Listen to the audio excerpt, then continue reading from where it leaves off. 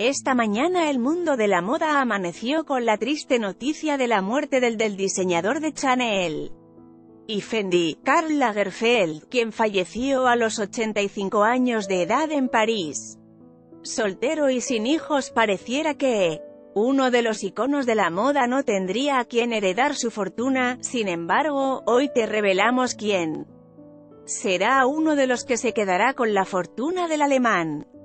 Su nombre es Spet, la mascota por excelencia de Lagerfeld, una gatita de raza birmana, pelo blanco y grandes ojos azules. El amor por su fiel compañera era tanta, que el legendario modisto declaró en alguna entrevista que ella sería una de las herederas de su fortuna. La gatita era toda una celebridad hasta el punto de tener su propia cuenta de Instagram y su propio libro nombrado Spet, la vida privada de una gata de la moda de altos vuelos.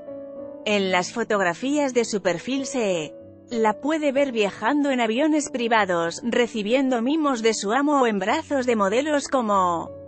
Además, el interés por la felina es tal, que al año puede ingresar más de 2 millones y medio de euros en Conceptos publicitarios. En una entrevista para la cadena CNBC, Carl confesó que jamás se imaginó tener un amor tan grande por un animal como ese. Nunca pensé que podría enamorarme de un animal como este.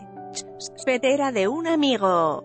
Baptistia Viconi que me pidió que cuidara de ella mientras él se encontraba de viaje. Pero cuando regresó, le dije, lo siento, Spete es mía y se convirtió en la gata más famosa y rica del mundo, la mascota del diseñador.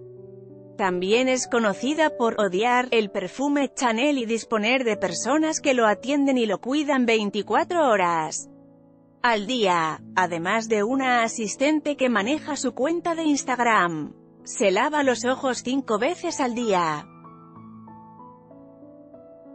Se cepilla el pelo, no quiere estar sola, ni cuando duerme.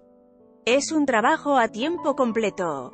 Cabe destacar que, la gata cumplió siete años el pasado 15 de agosto.